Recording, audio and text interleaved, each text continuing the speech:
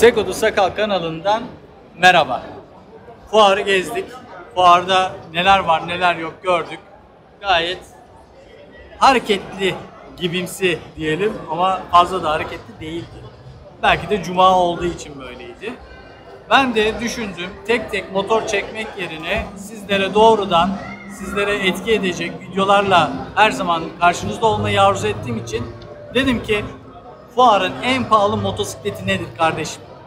Bana gösterin dedim. Doğrudan burayı gösterdiler. MV Agusta'dayız.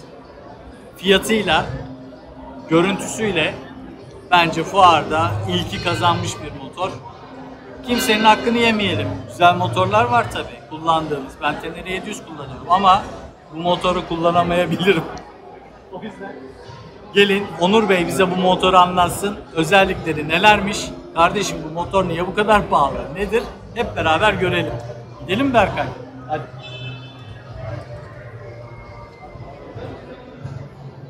En pahalı motor dedik dedik Onur Bey'in yanına geldik. E, motor pahalı olunca ablalar, ablalar da güzel olunca bu motoru tanıtalım dedik. Onur sendeyiz. Merhaba. Merhaba. Ee, baş modelimiz bizim e, 300 adet özel üretim, özel sayıda üretim modellerden 4 silindirli e, F4 bloğu üzerinden geliştirilmiş olan motor. Ve e, 208 beygir yarış gücüyle birlikte 215 beygire kadar çıkabiliyor. 215 beygir. 215 beygire kadar. 150 kilometre ve biraz daha üzerinde bir speed'i var. Tabi gören oluyor mudur bunu? Motorun üzerinde durmak zor olduğu için şartları dışında biraz zor olabilir yani o rakam ama motorda bu var mı var? Evet yani. Arka teker dikkatimi çekti. O konuda bize bilgi verir misin? Arka teker başta ön teker tel jant şeklinde geliyor. Arka teker araç üzerinde karbon kapaklı.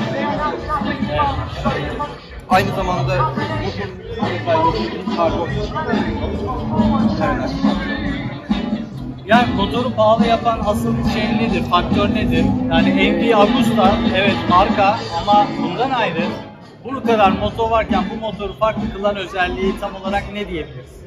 Sınırlı sayıda üretim Evet. e, olması en önemlisi. Bir de kendine has tasarım olması ve zaten dediğim gibi 300 adet üretiliyor ve almak isteseniz bile artık yok mesela. Yani parayla Yani- da satın alamazsınız. Onur ben geldim para var istiyorum. Ya. O zaman almıyorum. Ama olsa alınır mı? Bence alınır. Paranızın değerine göre, durumuna göre alınacak bir motor. Ben çok beğendim. Detaylar için Berkay bize e, incelikleri yakın görüntüleriyle gösterecek. O zaman neredeyiz? MV Agusta'dayız.